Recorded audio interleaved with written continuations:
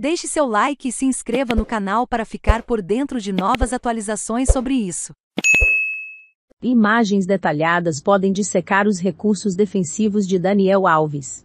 Novidades no caso Daniel Alves podem complicar ainda mais qualquer tentativa de apelação da defesa do atleta.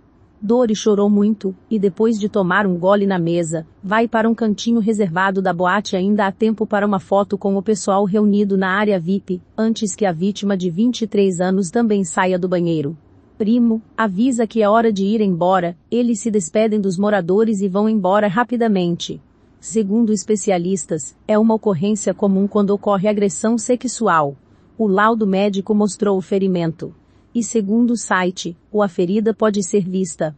No entanto, segundo as informações, a jovem começa a chorar e logo, as lágrimas cobrem o rosto.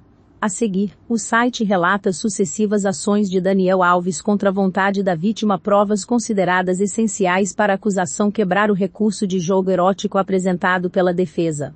Cupom LANCEFUT com 10% de desconto para fanáticos por esportes nas compras acima de R$ 299,90 como mencionado anteriormente, o detalhamento das imagens de segurança pode desmentir a estratégia escolhida pela defesa, apontando uma série de incoerências na acusação.